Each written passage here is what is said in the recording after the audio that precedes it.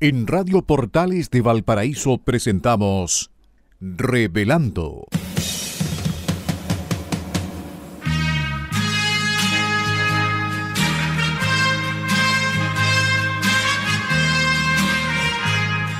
Un programa donde se abordan temas de actualidad, contingencia y la agenda cultural de la zona.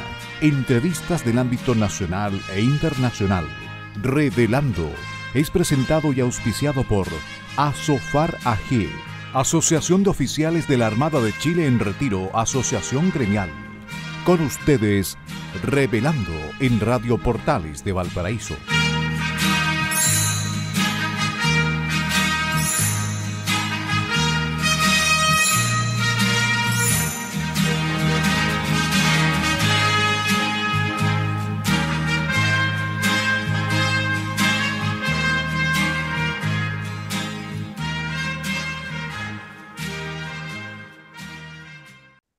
Buenas tardes, señores auditores de Radio Portales, la primera de Chile. Estamos iniciando el programa Revelando. Este programa que se transmite de lunes a viernes de 18 a 19 horas y, y en el día de hoy, lunes 15 de enero del año 2024, Carlos Flores, quien les habla, acompañado de mi estimado amigo y colega radial, abogado, don Daniel de la Hoz, a quien le doy la más cordial bienvenida. Buenas tardes, Daniel. Muy buenas tardes, eh, Carlos. Muchas gracias por la invitación. También saludo a los auditores de Radio Portales con mucho afecto. Eh, es que es la hora, digamos, en que ya van regresando a sus casas, digamos, después de un día laboral. Y también muy contento de estar nuevamente en este programa revelando, aunque ya ha sido invitado algunas veces anteriores, digamos, eh, para comentar respecto de la, de la realidad comunal, regional y también eh, eh, nacional. en algunos momentos podemos caernos también a la, al comentario del punto de vista internacional. Así que muchas gracias, Carlos. Y aquí estoy a tu disposición, digamos, para lo que usted mande, como dicen los guasos en el campo.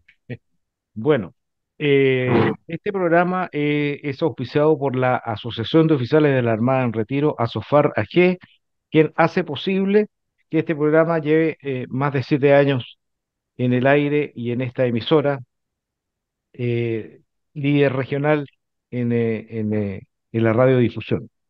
También, antes de iniciar nuestra conversación, quiero agradecer a quienes son nuestros técnicos.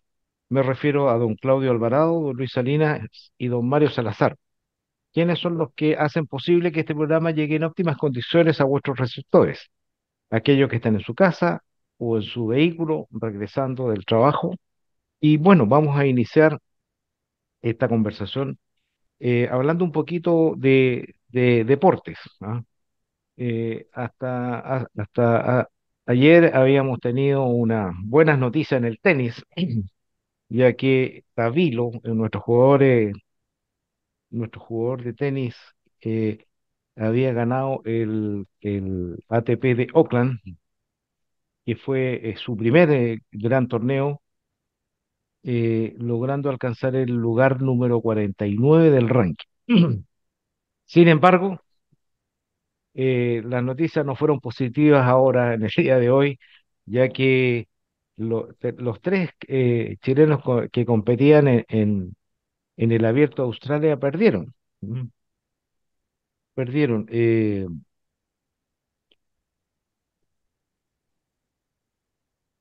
Tabilo perdió con don Alexander Kovacevic de Estados Unidos y Nicolás Jarry perdió con Flavio Coboli, que es el número 100 en el ranking. Recordemos que Nicolás Jarry es el número 18 y Tabilo, como decía, llegó al, número 49.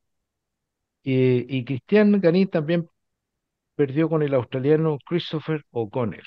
Eso significa que los chilenos quedaron fuera del abierto de Australia, lo que no es una buena noticia. Sin embargo, eh, es necesario indicar que, bueno, eh, estamos en un momento importante de la historia del tenis porque tenemos cuatro tenistas dentro de los top 100, que hacía muchos años que no teníamos. Así que, independiente de este mal resultado de Australia, creo que nuestros tenistas están haciendo una buena labor eh, y recordar que tanto Tavilo como Jarry perdieron en partidos de 5 sets, ¿ah? Bastante disputado, así que bueno, es lamentable, pero, pero eh, son los resultados que ocurren, digamos, en torneos internacionales que son tan continuos y seguidos. También quería comentarle que en el preolímpico eh, de la eh, jugado en la India, en la ciudad de Randy, eh, el hockey eh, femenino logró un importante resultado al vencer a la República Checa por 6 a 0. Este es eh, es es un campeonato preolímpico y que, bueno, en el partido anterior Chile había perdido 3 a 0 con Alemania. Y bueno, queda pendiente su partido con Japón, que le podría permitir clasificar. Así que hasta el momento eh, ha sido un, un excelente resultado, 6 a 0 sobre Che- la República Checa, es muy importante. Y bueno, y también, ¿no es cierto?, que, eh, de que eh, hemos tenido el rugby en Viña del Mar, donde All Boys venció o obtuvo el campeonato al derrotar a, a un invitado de la provincia de Cuyo, que jugó en Viña del Mar, lo que es un importante evento para el eh, turismo, y la actividad deportiva propia del rugby en, eh, en Viña del Mar. ¿Qué te parece, Daniel? Bueno, tú sabes que en deporte eh, en realidad a veces se pierde, a veces se gana, pero respecto de los tenistas son personas jóvenes, están dentro de los 100 primeros del ranking mundial. Quizás en esta temporada y en la época en que les tocó jugar no estaban, digamos, disponibles eh, anímicamente o mentalmente para enfrentar estos desafíos. Bueno, y perdieron, pero ya vendrá oportunidad en que con la calidad y la destreza que tienen y la habilidad para jugar tenis, van a salir adelante. Mira, yo te puedo decir que yo he sido deportista durante toda mi vida, estuve casi 20 años practicando y compitiendo en triatlón, y en los entrenamientos principalmente uno amanecía no disponible para hacer el entrenamiento debido y salía con mala gana y no andaba bien. Pero a ese otro día uno se levantaba y se levantaba con todas las energías y en el entrenamiento rendía bastante bien, ya sea en natación o en ciclismo. Así que son cosas propias del deporte y de la disponibilidad del cuerpo humano para ciertas situaciones. Así que eh, eh, no hay que perder la esperanza respecto a los tenistas. Yo sé que en el futuro le va a ir bastante bien. Son personas jóvenes, tienen todavía mucho tiempo por delante para seguir progresando. Así que no, no, no, no nos amarguemos tanto, digamos. Lo importante es estar compitiendo. Y lo segundo y lo más importante respecto a esto es que eh, su interés, su, su, su, su perseverancia para seguir jugando son muy buenos ejemplos para nuestra juventud, digamos, para que se dediquen al deporte, disfruten del deporte, y si no lo han hecho todavía, que inicien una actividad deportiva en tenis o en rugby. Bueno, rugby es un deporte mucho más brusco, en mi opinión es un deporte destructor, digamos, porque realmente los jugadores siempre salen lesionados con las orejas rotas, huesos quebrados, etcétera, etcétera, etcétera. Pero lo importante es que eh, estemos pendientes del deporte de tal manera de poder incentivar principalmente a nuestra juventud para alejarlo de todos estos vicios, digamos, que están reinando en nuestro país. Y ya sabemos que, por ejemplo, ya en el Festival de Viña viene un promotor de lo que es la droga adicción. Así que yo creo que hablar de deporte para incentivar a nuestra juventud, yo creo que es una muy buena, muy buen concepto. Bueno, efectivamente, Daniela, y bueno, yo, eh, antes de terminar el deporte, no eh, quisiera dejar pasar, ¿no es cierto?, el resultado que obtuvo la selección chilena de rugby en la modalidad de Seven, ¿ah? Em, donde perdió la final con Kenia, ¿m? en el Seven Challengers eh, de la Copa del Mundo. Así que tenemos buenos resultados, tenemos buenos deportistas y bueno, eh, yo diría que en Australia también debe haber afectado un poco las altas temperaturas, ¿ah? porque el, el- el torneo se ha visto muy eh, resentido eh, porque los jugadores eh, están, eh, compiten en, en condiciones bastante complicadas cuando la temperatura es muy alta en esta época.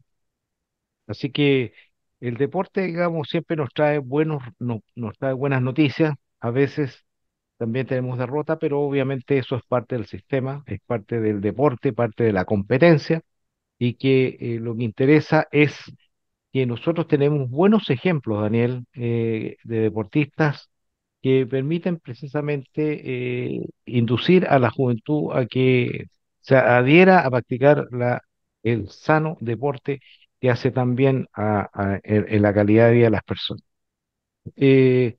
Y ahora entrando a temas de contingencia, yo diría nacional, me parece, eh, Daniel, que hace pocos días atrás se eh, inauguró o reinauguró eh, la estación del metro eh, de Baquedano, de la estación Baquedano.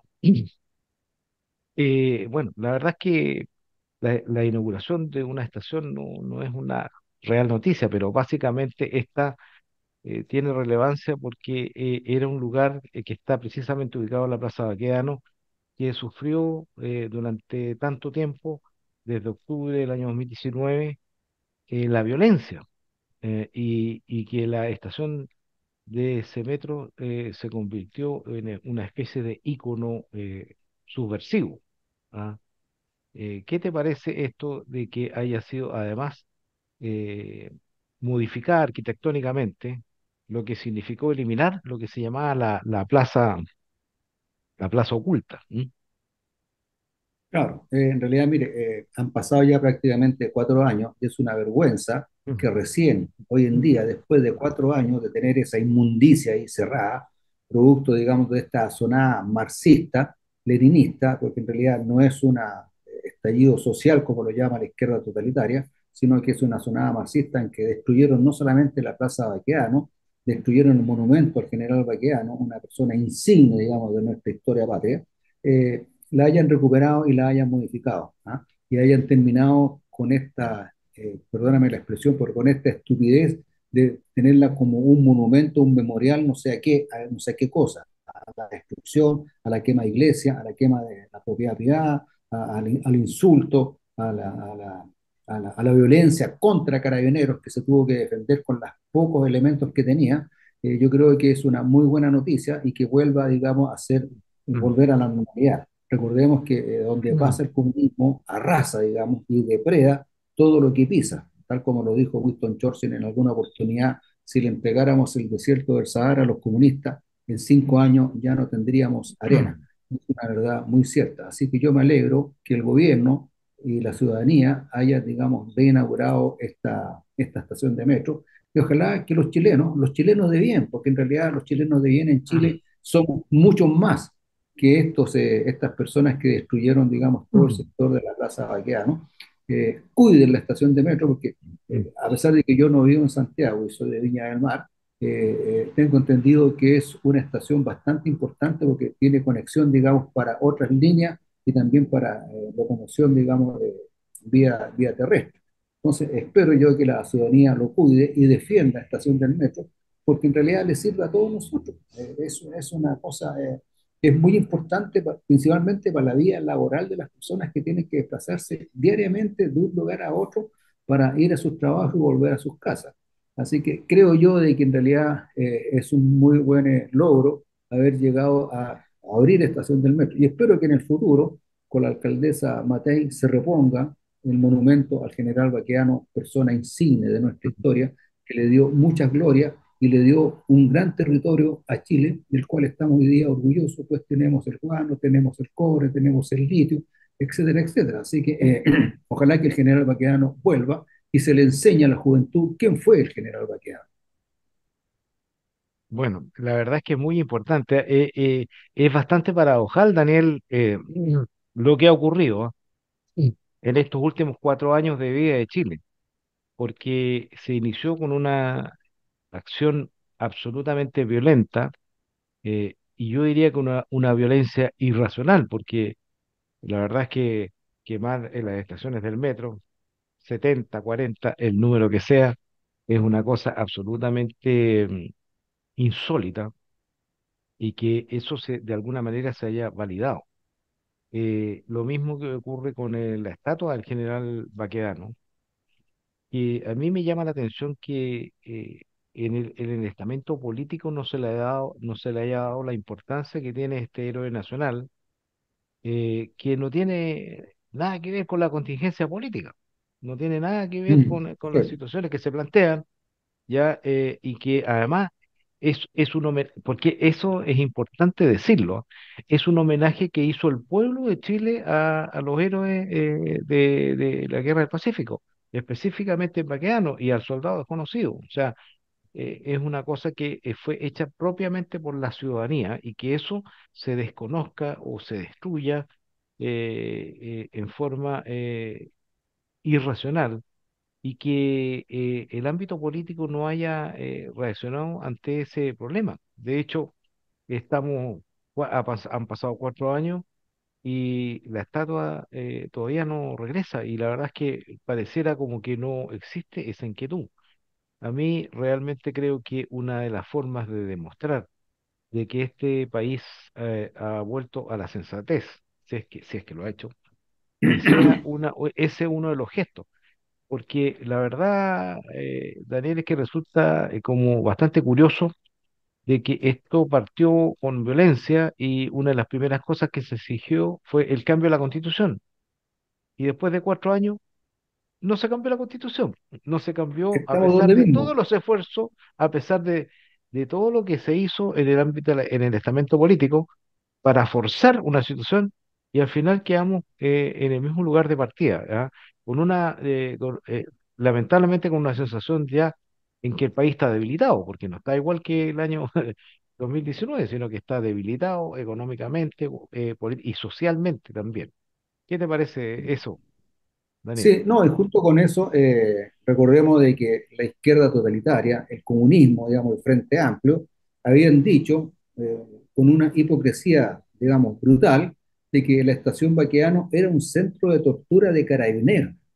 Qué mentira más grande. Yo no sé cómo tienen tanta cara, como dice alguien por ahí, creo que la Marino dicho, no sé, cara de nalga para decir que fue un centro de tortura donde se torturaba a la gente, la estación General Baqueano. Finalmente, obviamente quedó probado de que eso era una mentira tremenda y, y Carabineros, eh, y quiero decir que Carabineros no tenía ninguna responsabilidad sobre nada. Debo hacer presente que Carabineros es una, es una institución de excelencia. Chile, Chile debería sentirse orgulloso de la policía que tiene, del carabinero que día a día vigila las calles con mucho esfuerzo, que cada día nos protege, y tal como dice su himno, mientras uno duerme, ¿no es cierto?, él está vigilante de tal manera de que eh, podamos dormir tranquilamente.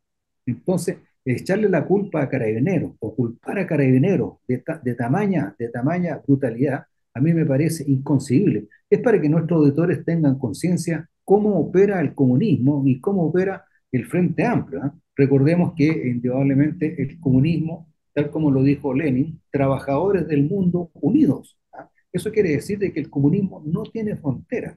Entonces, por eso desconocen nuestra historia y eh, echaron abajo el monumento del general Baqueano eh, bajo una ignorancia tremenda de lo que es la, historia de Chile y la importancia que tiene el general Baqueano. Y tal como tú dices, fue el pueblo de Chile que puso este monumento ahí y fue el pueblo de Chile que colocó al soldado desconocido junto al general Baqueano, representando a todos aquellos jóvenes, a todos aquellos soldados que combatieron y dieron su vida por otorgarle a Chile un mejor futuro. Bueno, efectivamente, y la verdad es que eh, llama la atención, digamos, eh, cómo eh, la eh, desinformación es parte integral, digamos, de lo, de lo que es el, funcionamiento de las fuerzas insurgentes, porque la verdad es que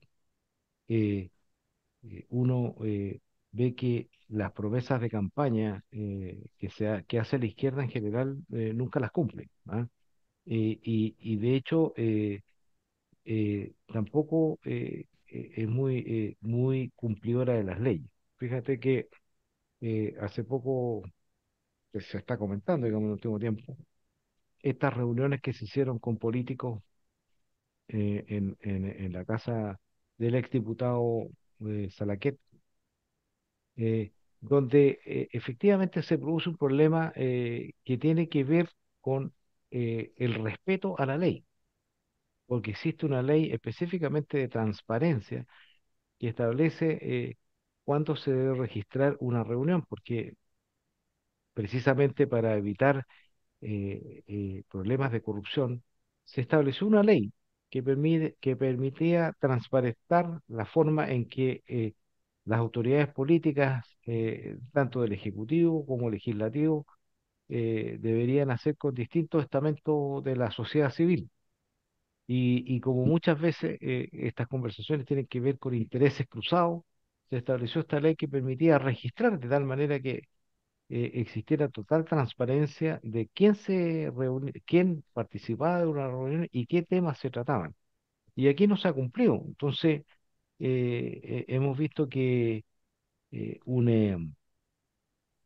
una, un grupo político, ¿no es cierto?, que, que hizo una, se autodefinió como moralmente superior, eh, que cumple, eh, que viene con otra moral, una moral mm, renovada, con absoluta transparencia, hemos visto que eso eh, sencillamente eh, no ha sido la realidad, ha sido exactamente lo contrario. ¿Qué te parece a ti, Daniel?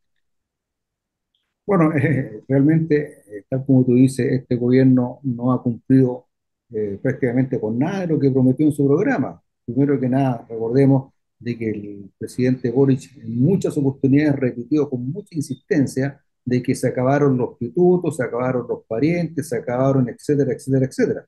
Bueno, y vemos que en realidad eh, lo primero que hay en el gobierno son los amigos, los parientes, etcétera, la hija de, la esposa de, la sobrina de, etcétera, etcétera, etcétera. Ahora, eh, respecto a esta cuestión, hay una ley y por lo que escuché en las noticias, algunos participantes eh, decían de que no conocían la ley, ¿ah?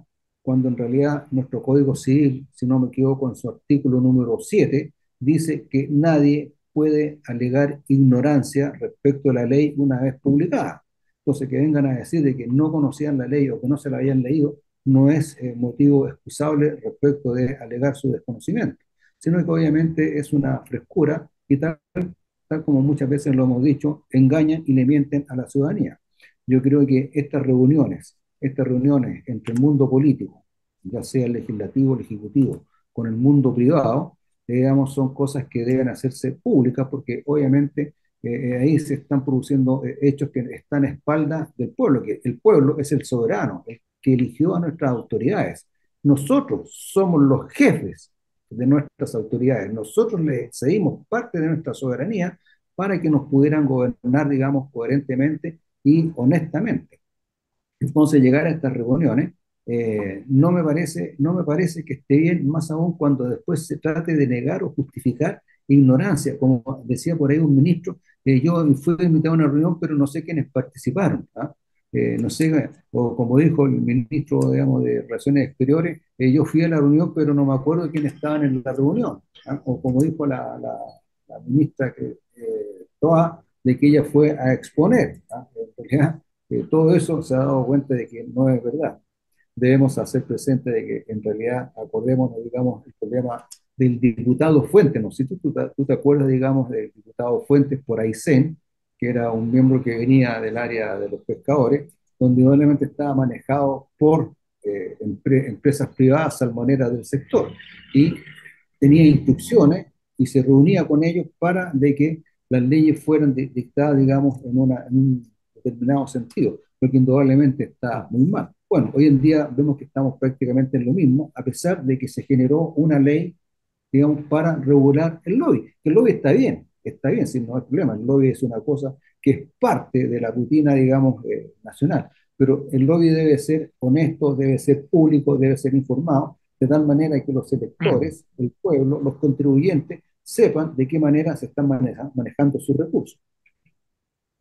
Bueno, la verdad es que eh, es un, un, tema bastante eh, complejo porque cuando, cuando eh, se acerca, acerca la corrupción a las actividades de administración del Estado, la situación se complica.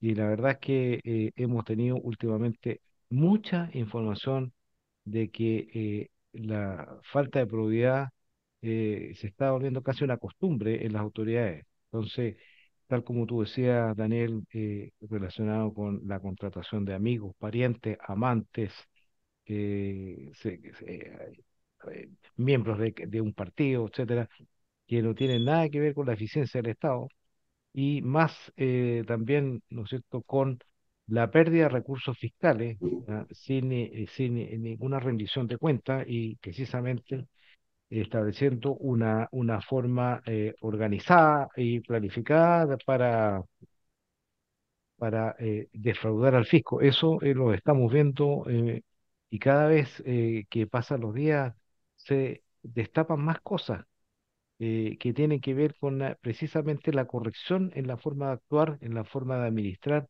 en la forma de, de presentarse ante la ciudadanía para eh, mejorar la calidad de vida de los chilenos. Eso me parece bastante complicado.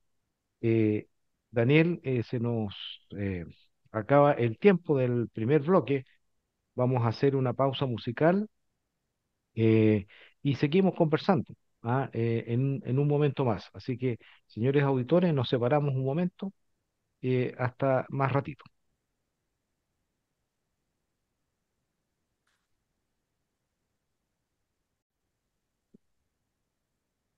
Señores auditores de Radio Portales, continuamos nuestro programa Revelando del día de hoy, lunes 15 de enero del año 2024.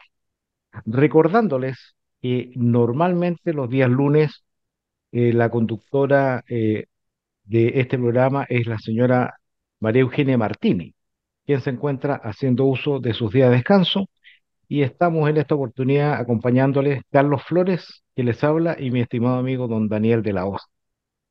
Recordando también que este programa es auspiciado por la Asociación de Oficiales de la Armada en Retiro, ASOFAR AG, y que todas las opiniones que se viertan en este programa son de absolutamente res- de responsabilidad de las personas que las emiten.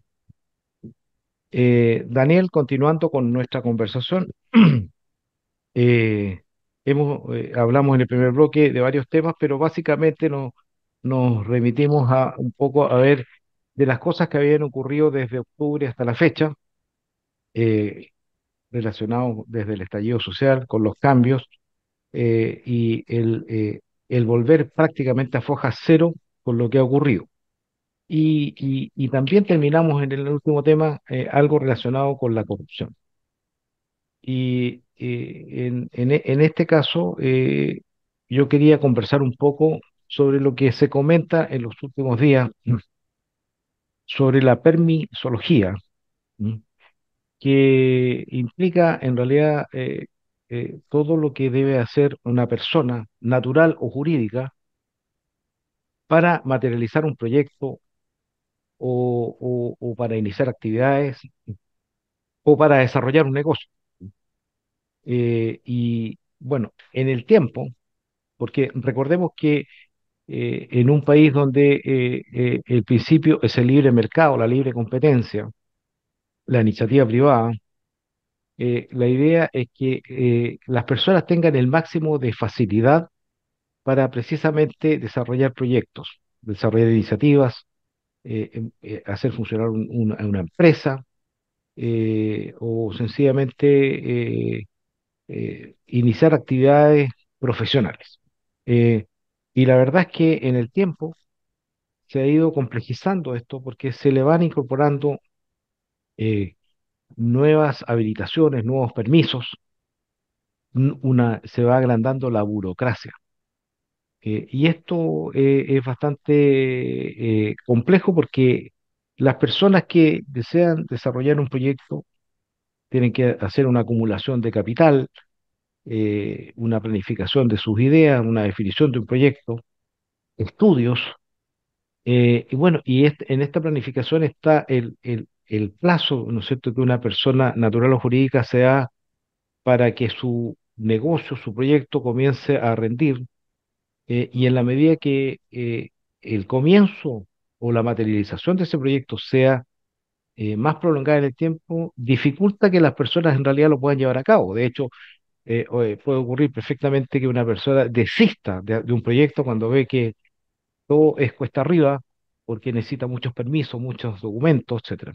Y eso es por una parte eh, la dificultad. Y el otro es que cuando existen también muchas, eh, muchas autoridades, muchos pasos que hay que hacer para obtener un permiso, aparece, digamos, la sombra de la corrupción, porque la persona tiene que ir acelerando sus procesos y, poco menos que pidiendo por favor que le haga las cosas.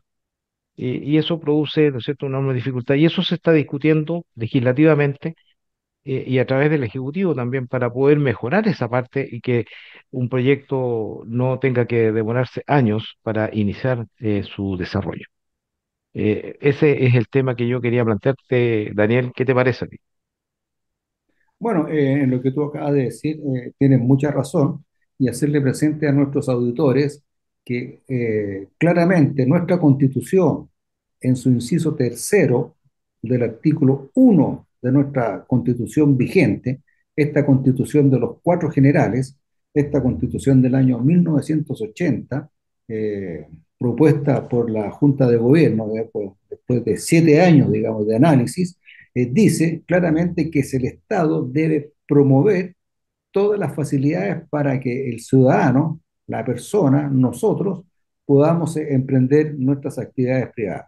Y indudablemente, tal como tú dices, durante el tiempo se han ido aumentando los requisitos para emprender. Si una persona necesita o eh, quiere invertir, sé yo, en una actividad, instalar un negocio, ya sea un restaurante, o instalar, qué sé yo, un criadero de aves o de, de, chanchos, ¿ah?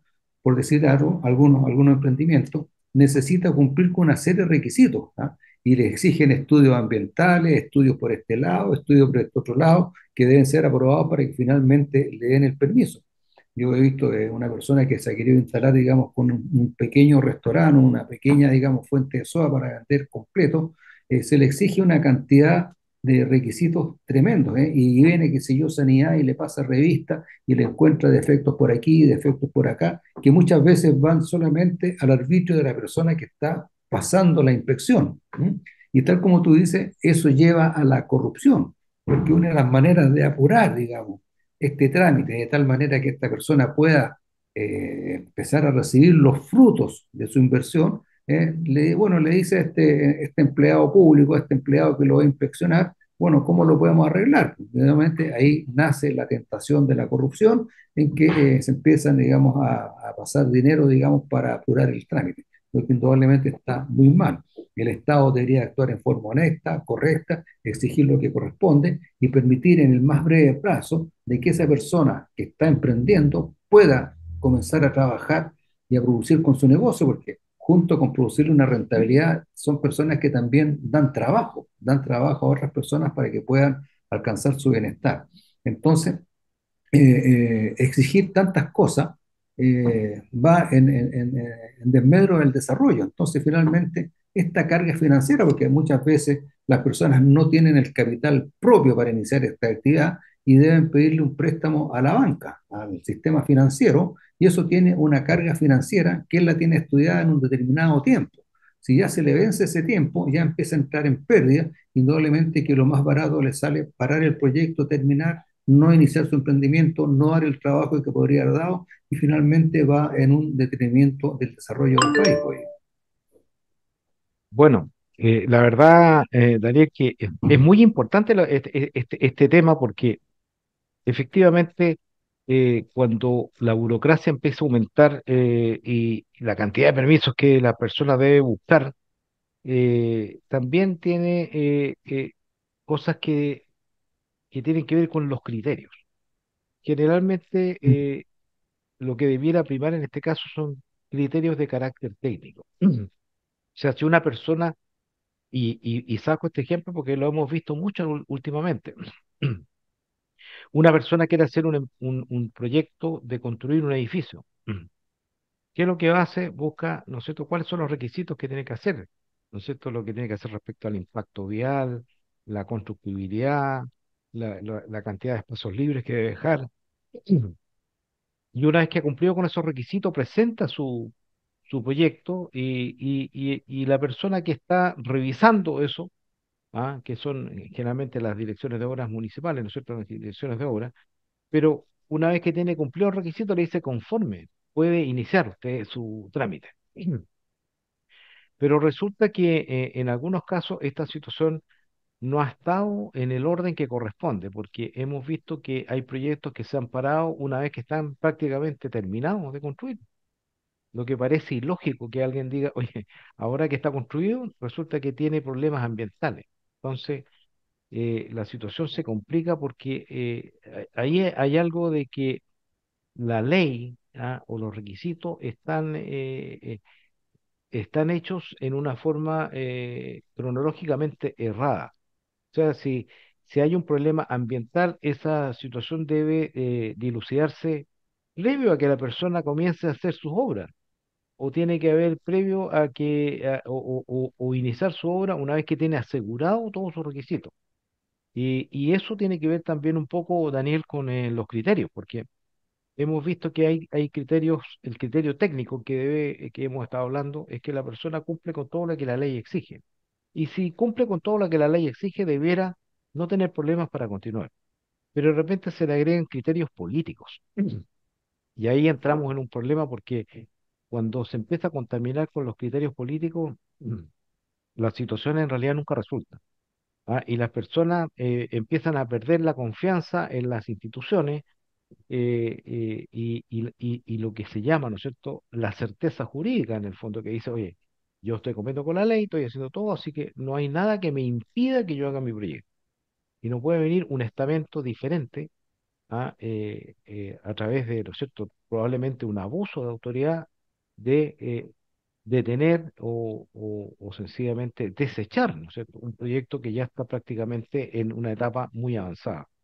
Eso eh, es importante tenerlo y, y, y por eso que hay dos cosas, digamos, que tienen que ver con este tema, Daniel. Una es la cantidad, ¿cierto?, de requisitos que uno debe hacer eh, y que por lo demás, digamos, se alarga más porque muchas veces cada requisito está en una institución o una del Estado diferente.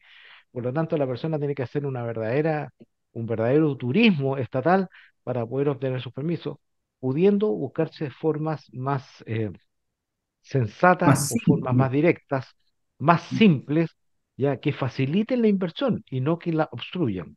¿Qué te parece? Bueno, tú sabes que aquí, bueno, aquí en Viña del Mar eh, tenemos tres ejemplos. Uno que ya finalmente llegó a final feliz.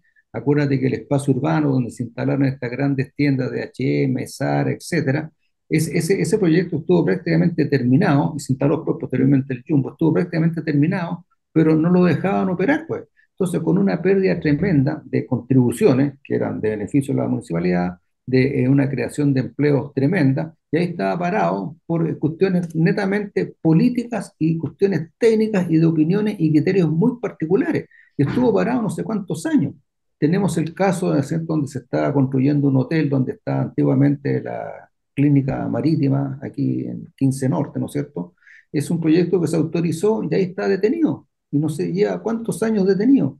Tenemos por último el puente del hotel en el puente de los Piqueros, ¿no es cierto? Un hotel que prácticamente ya está terminado, se le dieron todos los permisos y ahora le dicen que no puede, no puede operar. Entonces, indudablemente que eh, eh, estamos ante situaciones que son increíblemente eh, eh, desastrosas, porque en realidad la inversión que se ha perdido, eh, la, la, inversión que se ha perdido, la cantidad de, de ese carga, esa carga financiera es tremenda, entonces es una pena. Y eso nos lleva a que en realidad no podamos progresar de la manera que nosotros pudiéramos progresar. Entonces, yo creo de que, eh, digamos, reevaluar, reanalizar, reconducir todo este tipo de exigencias para emprender, yo creo que es un trabajo bastante grande y un trabajo muy técnico, tal como tú decías, una, un empresario que decide eh, iniciar la construcción de un edificio se ve enfrentado, digamos, a diferentes requisitos que a veces son imposibles de cumplir. Entonces, finalmente dice, no hago ninguna cosa. Y por otro lado, también tenemos eh, permisos que se han dado. Tenemos el caso del, del, del edificio Kinski, este, este, que está con el hoyo, ¿no es cierto? Que indudablemente ahí hubo errores de, también de carácter técnico. Entonces, ¿por qué se dieron esos permisos? Entonces, en realidad es una situación bastante compleja y yo creo que este gobierno no es, bueno, este, ya sabemos que este gobierno es totalmente incompetente, no va a tener las competencias, digamos, para reducir estos requisitos, reducir los tiempos mínimos, de tal manera que la persona que emprende lo puede hacer en el más breve plazo. Bueno, efectivamente, ¿eh? y yo creo que aquí entramos eh, a un eh, concepto, digamos, que es fundamental para un país que quiere desarrollarse, que quiere crecer y que tiene que ver con la certeza jurídica. Porque al final todo lo que estamos hablando son procedimientos y procedimientos que se pueden facilitar ¿ah? o se pueden concentrar de tal manera que eh, sea un organismo el que revise la mayoría de, los requisitos y no estar haciendo un turismo estatal a través de las distintas reparticiones para poder avanzar en un proyecto. Eh, pero aquí hemos estado hablando de proyectos pequeños, como un edificio, pero hay otros inmensos proyectos, proyectos mineros, proyectos de energía, eh, proyectos de eh, innovación, que de repente se ven enfrascados o detenidos por otros criterios, por ejemplo, y, y hay que decirlo, el activismo am- medioambiental, porque y- yo creo que todas las personas estamos de acuerdo de que el medio ambiente o la naturaleza o las condiciones naturales de determinados sectores hay que protegerlas, hay que cuidarlas y hay que conservarlas de alguna manera. Sin embargo, eh, eso se puede, eh, se, se- se puede conjugar adecuadamente con el desarrollo, porque el desarrollo va en beneficio de la calidad de vida de las personas, el crecimiento de los países. O sea, un país que no se desarrolla, que no crece, sencillamente se va convirtiendo en más pobre. Entonces, eh, la certeza jurídica es importantísimo y sobre todo para las grandes inversiones. La verdad es que eh, eh, hay proyectos eh, como los mineros, digamos que por razones naturales eh, son procesos más o menos largos, porque tienen investigaciones, exploraciones, eh, la inversión es, eh, eh, es- es tremenda, por lo tanto, ¿no es cierto? Los estudios deben ser, pero absolutamente rigurosos. Eh, y eso es importante. Nosotros actualmente en Chile, eh, Daniel, eh, tenemos un desarrollo eh, eh, muy paupérrimo, o sea, el, de- el- el crecimiento es, es bajísimo. Eh, las inversiones han disminuido y, y, bueno, el país funciona y está funcionando bien porque trae una inercia, una inercia de desarrollo, una inercia de funcionamiento pero eso, digamos, esa inercia en algún momento se va a detener, como ya está casi detenida, o sea, eh, el crecimiento es casi nulo. Y eso significa que las personas que se van incorporando a la vida del trabajo, o las personas incluso las que van naciendo, tienen menos posibilidades de desarrollar su vida y alcanzar sus sueños. Entonces, eh, esto, esto es importante, lo de la certeza jurídica, y que los gobiernos tomen en conciencia que lamentablemente, Daniel, y hay que decirlo, no es una prioridad de la izquierda el desarrollo. ¿ah? La izquierda tiene otras prioridades y, y curiosamente yo diría que el desarrollo, el crecimiento de un país es la base para ejecutar cualquier, eh, cualquier, eh, cualquier tarea social o cualquier eh, desarrollo social. ¿Qué te parece? Obviamente, tú tienes razón en el sentido de que en realidad el desarrollo es lo que le da bienestar a la población. Y eso es lo que el gobierno no tiene claro. ¿ah? El gobierno, digamos, ha detenido la economía, ha detenido la inversión y junto con eso, eh, como se está quedando sin plata, porque al detener la inversión hay menos pago de impuestos, porque en realidad no hay producción, no hay utilidad, etcétera, el impuesto a la renta disminuye.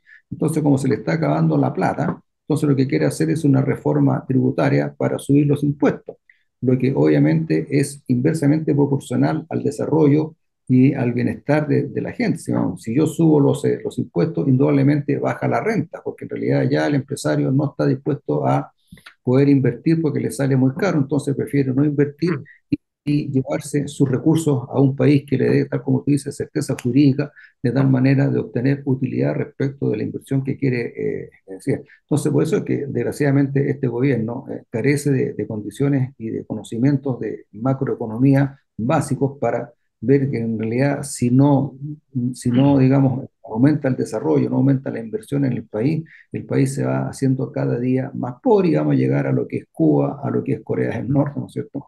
y otros países donde el comunismo ha fracasado tremendamente. Pero la ideología es tan fuerte de esta gente que yo siempre he dicho que es como una enfermedad. ¿no?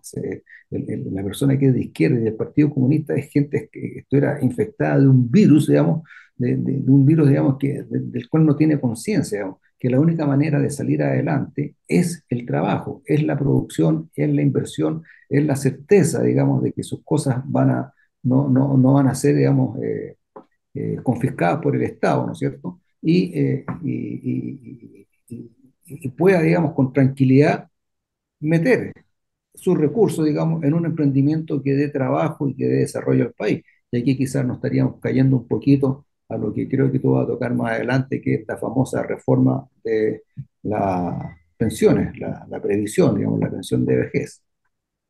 Bueno, eh, efectivamente, la verdad es que eh, eh, lo que se está viendo últimamente en este mes de enero, muy activo políticamente, y lo que se ve más cerca es la reforma a, a la- a las pensiones.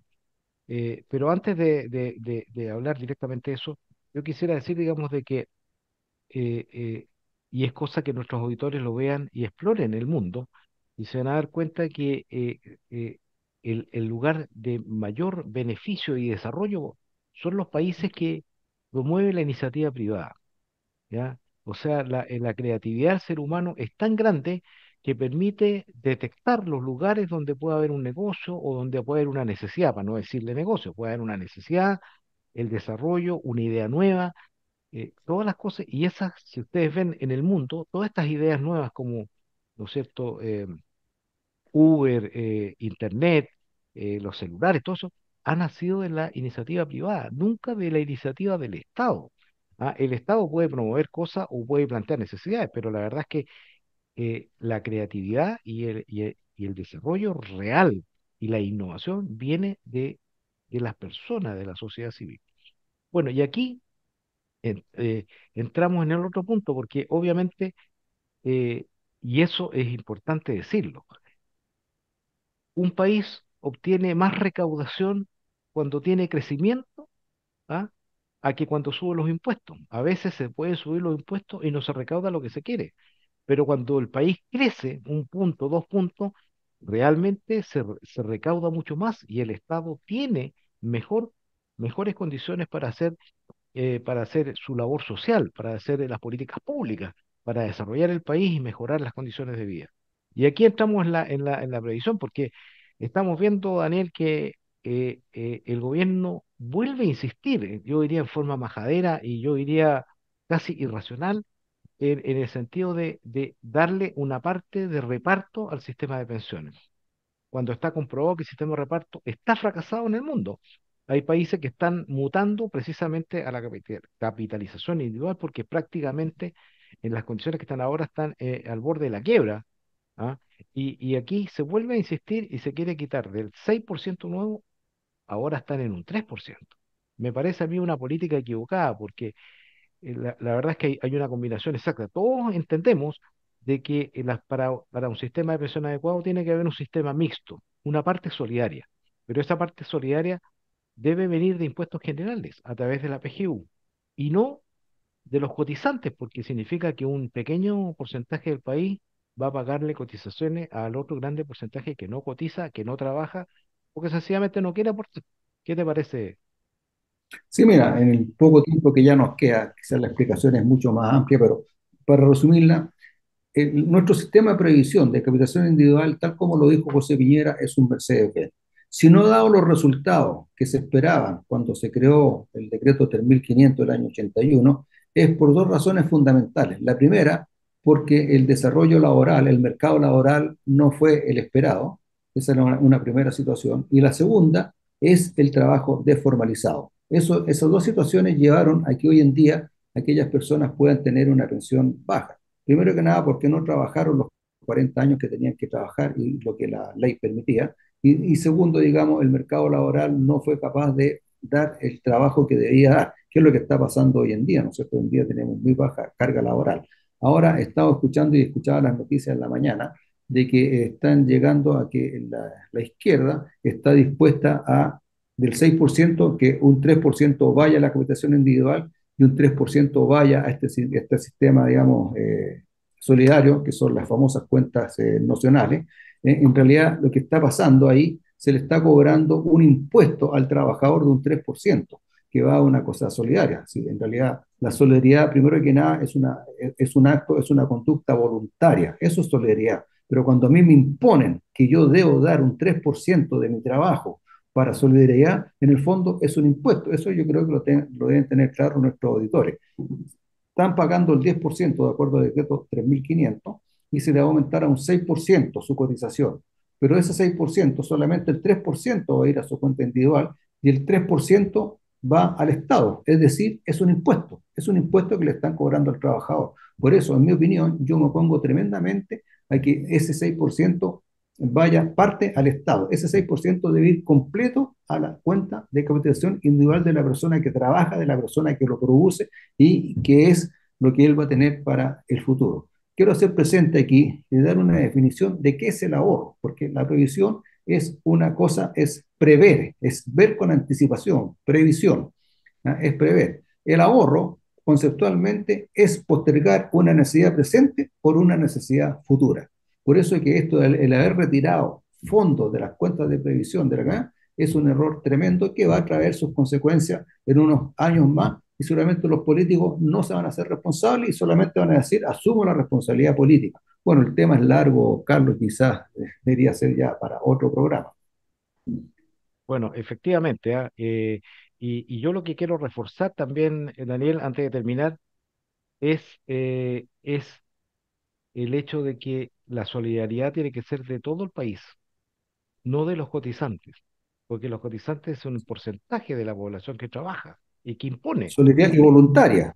¿Ya? Claro, entonces eso se tiene que hacer a través de impuestos generales que se traduce a través de la PGU.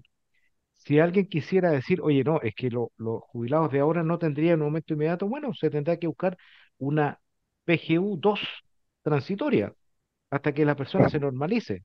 Pero la verdad es que yo creo y estoy absolutamente de acuerdo contigo en que el 6% o cualquier aumento que haya de cotización debe ser directamente a la eh, cuenta individual de las personas. Así que, señores auditores, estamos llegando al final de este programa el día lunes 15 de enero. Eh, y bueno, eh, seguramente usted va a escuchar noticias de las pensiones porque se está conversando en estos días y en los próximos programas podremos comentar o ampliar nuestra, nuestra información o nuestra, nuestras opiniones respecto a eso. Así que, don Daniel de la Hoz, yo te agradezco que me hayas acompañado en este programa de hoy. Esperamos contar contigo a futuro también. Y me despido, ¿no, señores auditores, que tengan un excelente eh, resto de semana eh, y que, bueno, aquellos que están en descanso, que disfruten sus vacaciones. Y los que están trabajando, bueno, que tengan un poco de paciencia, que en pocos días más a lo mejor van a poder salir ellos. Así que, Daniel, te doy el espacio para que te despidas. Señores auditores, muy buenas tardes. Muchas gracias, Carlos. Me despido también de nuestros auditores. Esperamos que hayamos, hayamos aportado con algo de nuestro, de, nuestro, de nuestro comentario respecto al conocimiento que ustedes deben tener sobre la realidad comunal, regional y nacional. Nos estamos viendo y muchas gracias, Carlos, por la invitación. Señores auditores, muy buenas tardes.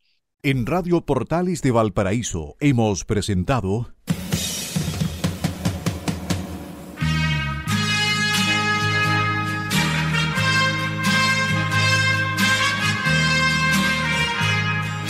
Revelando, un programa donde se abordan temas de actualidad, contingencia, entrevistas del ámbito nacional e internacional. Revelando es presentado y auspiciado por Asofar AG, Asociación de Oficiales de la Armada de Chile en Retiro, Asociación Gremial. Sintonícenos en un próximo programa. Buenas tardes.